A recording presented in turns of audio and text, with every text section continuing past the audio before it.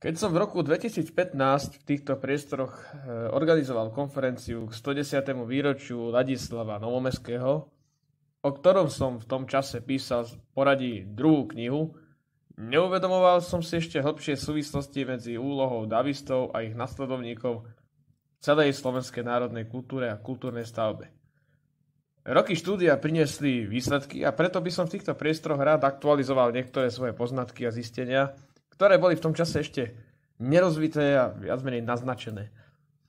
Novomestského, Novomestského som v tom čase nazval osobnosťou, ktorá chcela zmeniť slovenské myslenie.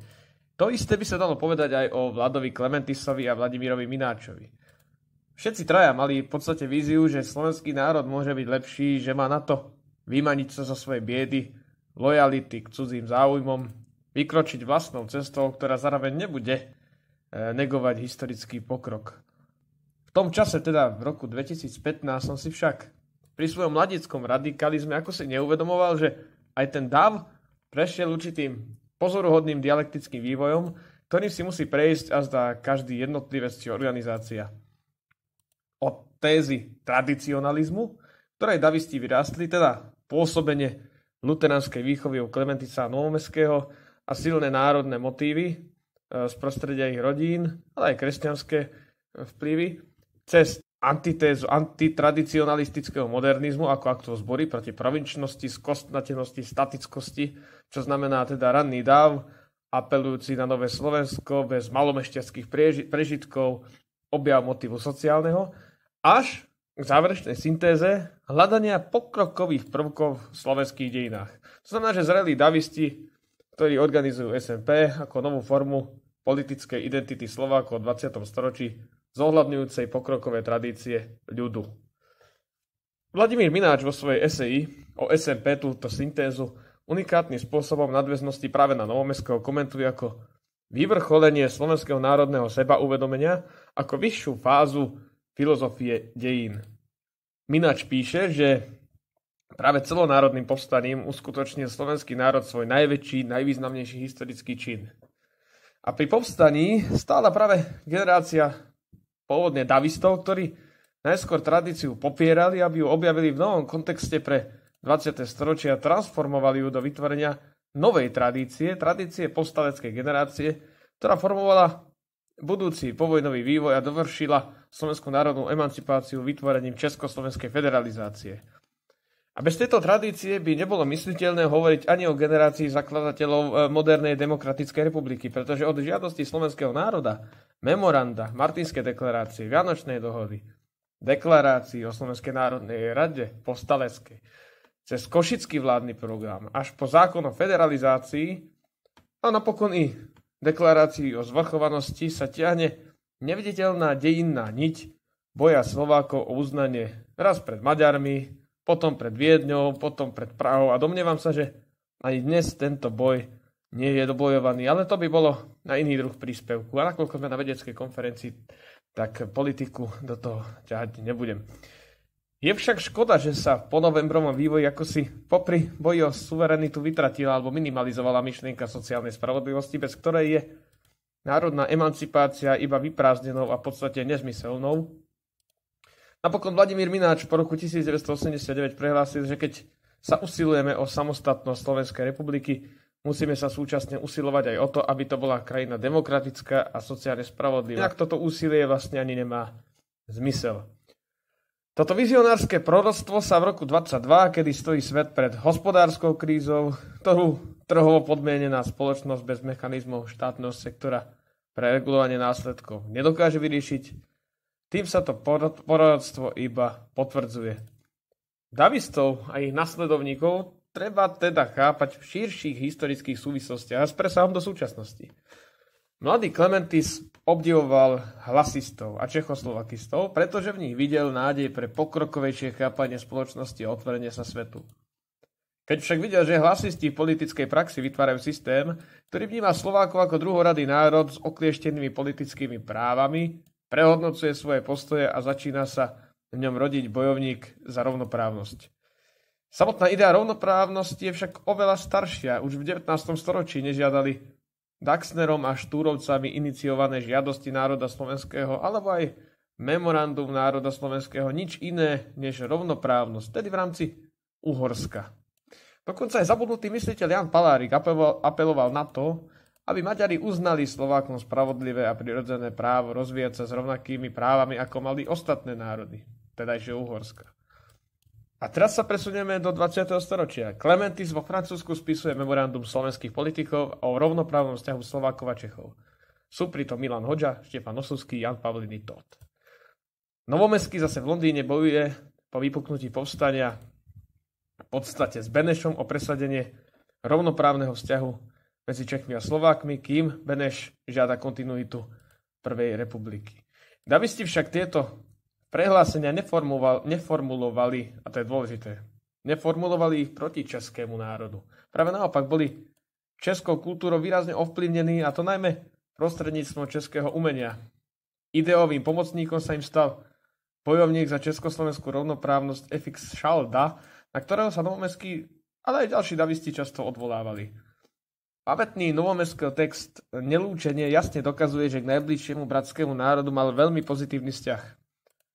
Napokon Praha generáciu davistov nielen ideovo spojila, ale sami sa stali vďaka tomu súčasťou tak českej, tak slovenskej, ako aj československej kultúry. Ani Klementis nechcel rovnoprávnosťou negovať dobré vzťahy s Čechmi a Moravanmi. Obom išlo o vyššiu spravodlivosť politickej rovnoprávnosti. V tom je vyšší humanistický odkaz davistickej generácii. Slováci sa čiastočne rovnoprávnosti dočkali až v roku 1969 vznikom federalizácie a napokon Davisti a ich nasledovníci v tomto boji mali nemalé zásluhy. Napokon, napokon rok 1968 eh, bol práve o znovu zrodení myšlienky národnej emancipácie v rámci vtedajšieho Československa, pri ktorej bojovníci proti Novotnému, tak Husák ako Dubček, ako aj Novomestský, Válek a Vináč a ďalší, eh, bojovali v jednom šíku. Ich heslom bolo najskôr federalizácie, až potom demokratizácia. V roku 68 sa spojili učitelia a žiaci. Novomestského žiakmi sú nepochybne tak Vladimír Mináč, ako aj Miroslav Válek. Kým Vladimíra Mináča ovplyvnil Novomestský s vysokou pravdepodobnosťou silnými esejami o roku 1848, ako esejami o zmysle povstania, teda najmä v kontexte filozofie dejín, tak e, Miroslava Válka ovplyvnil Novomestský predovšetkým v oblasti estetiky, kultúrnej politiky a filozofii kultúry. Túto kontinuitu v slovenskej kultúre nenachádzame iba v textoch, ale aj v symbolických gestách. Pamätná fotka, kde podáva Gustav Husák ruku Ladislavovi Novomeskému a v pozadí sa usmieva Vladimír Mináč. Miroslav Válek zase pomenoval po Novomestského zbierke Romboid svoj časopis a rečnil na jeho pohrebe. Držal dokonca urnu s jeho popolom, pričom napísal skutočne umelecky citlivú pohrebnú reč, ktorú vám teraz prečítam. Polousknutá kvapka po včerajšom daždi na skle je ako malá kozmická loď, ktorá havarovala po ďalekej a tajomnej ceste. Alebo možno ako osamelá slza na drahej tvári, ktorá sa od nás pomaly, ale navždy odvracia. A stuhy vencov ako krídla čiernych labutí nás mrazivo ovievajú. Ako by sme sa tu zišli iba kvôli básni, a vy, ako by ste nás nechali trocha čakať. Ako by ste odišli len na skok prestávke medzi dvoma strofami niekde do ústrania dorobiť svoj verš. Ale je to žiaľ iba naše želanie. Márne a nesplniteľné. Táto chvíľa je až príliš ozajstná a definitívna. Pravda a slovo, život a báseň išli vo vašom prípade ruka v ruke. Od čias vášho návratu do poézie slovo v nej nadobudlo opäť svoju pravú váhu. Vaša poézia sa naozaj stala tým, čím bola myslená. Že ste rovnako slovenský ako československý a rovnako československý ako socialistický básnik. Tak vaše slovo bez pátosu a bez vstupných výz prekračovalo hranice ľudských srdc v mnohých krajinách sveta, neopúšťajúc pritom rodnú pôdu. Boli ste a ste, konštatovalo sa to už dávnejšie, kategorickým mravným imperatívom svojej doby. Bez vás by ozajstná podoba nášho umenia bola len rozmazanou tvárou v zahmlenom zrkadle. Tí, ktorí prídu za vami, vás nebudú môcť obísť. Budú musieť ísť cez vás a to je údel rovnako príťažlivý a závažný, ako aj ťažký. Koniec citácie. Domnievam sa, že táto, pohle, táto pohrebná reč Miroslava Válka je istým spôsobom akýmsi umeleckým manifestom, ktorým sa priamo k novomestského odkazu prihlásil. Ak hovoríme o Mináčovi, tak zacitujem citát, ktorý som použil na prvej strane knihy Kultúrna revolúcia Laca Novomeského. Ako si intuitívne, nakoľko som v tom čase pred rokmi ešte Mináčovo dielo nepoznal. Dobre porozumieť národným dejinám znamená zmeniť ich. Novomestský ďaleko presiahol slovenský, československý kontext. Nie slovami, ale politickou praxou. Nie prázdnym gestom, ale vlastnou riskantnou skúsenosťou. A k tomu ešte jeden Mináčov citát. Ak dakedy Všemocné centrum zavraždilo Klementisa, ak tríznilo Husáka a Novomeského, ak chcelo zlikvidovať celú slovenskú antifašistickú základňu, robilo tak preto, aby, zabis, aby zadusilo pamiatku na pokus o zvrchovanosť slovenskej politiky. Ako sa ona objavila v náznaku v povstaní a v košickom vládnom programe, bolo treba podúpať národnú pamäť, zadúpať ju do popola pražskej zeme.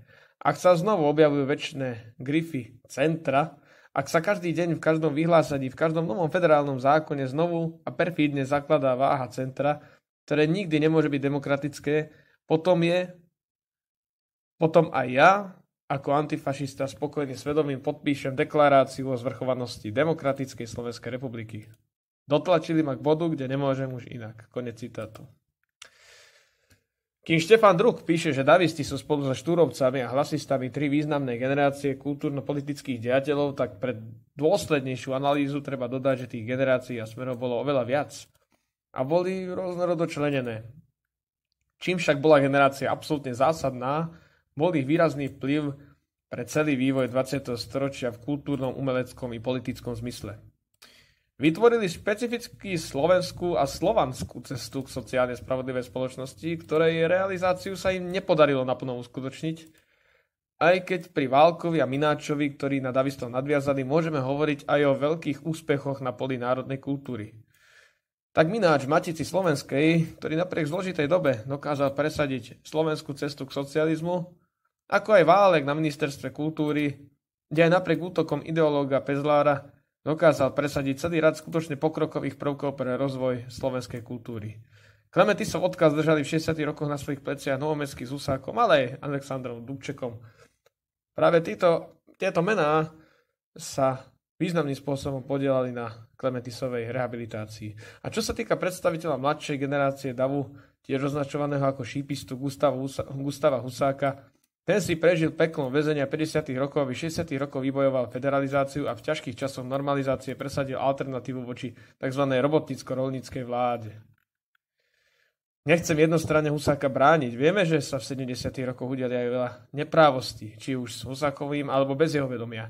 Ani nechcem robiť závery, kto mal v roku 1968 pravdu a kto bol na správnej strane dejín. Chcem však, aby sa k našim dejným osobnostiam pristupovalo objektívne a zohľadňovali sa aj historické reálie a možnosti reálnej politiky a geopolitiky. Iba vtedy je možný seriózny kulturologický, historický a politologický výskum našich dejín. Nemožno spochybniť, že davistická generácia aj nasledovatelia Mináč, Válek sa zapísala nezmazateľne do slovenských dejín. Treba však dodať, že slovenské dejiny sa ešte neskončili a ja osobne som presvedčený, že liberálna demokracia nie je koncom dejín a že vyšší level, stupeň sociálne spravodlivej spoločnosti budovaný na základoch zdravého vlastníctva je stále ideál, ktorý je otázkou budúcnosti. Mináč, Novomeský, Klementis, Válek a ďalší to vedeli. Ďakujem vám za pozornosť.